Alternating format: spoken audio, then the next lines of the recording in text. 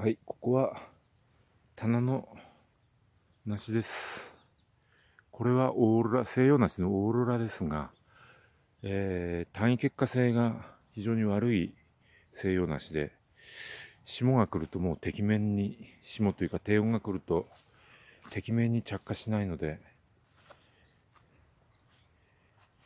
火を焚いてみましたが、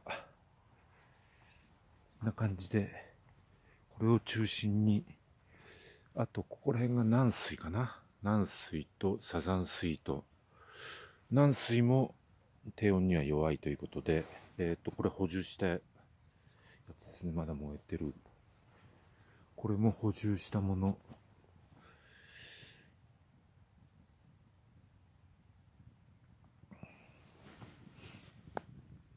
沖にはなってるな、下は。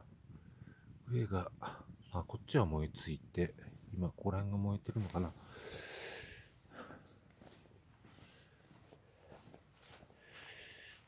うん、これちょっとパワーが、パワーがない。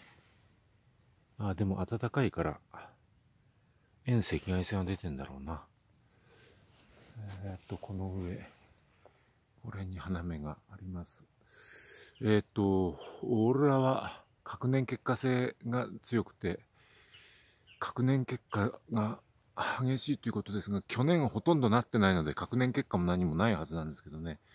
もともと花芽がない感じ。これは軟水。あ、咲いちゃったな逆光でわからんな。咲いちゃったぞ。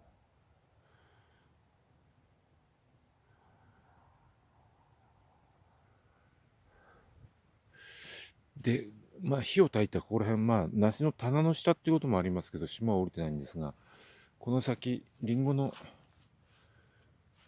高密植区はもう霜で真っ白ですね。はい、効果があるといいんですけどね。